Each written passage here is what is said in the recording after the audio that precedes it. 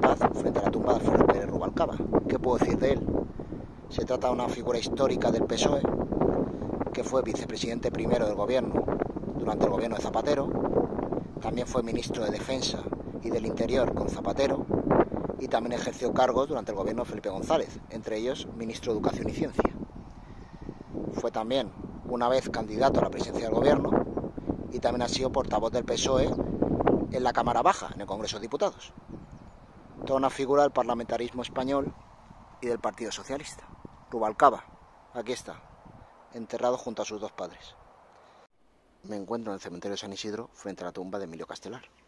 Emilio Castelar fue el último presidente de la Primera República Española, de la Primera República Española de facto, aunque luego oficialmente continuaría un año más con el general Serrano al frente.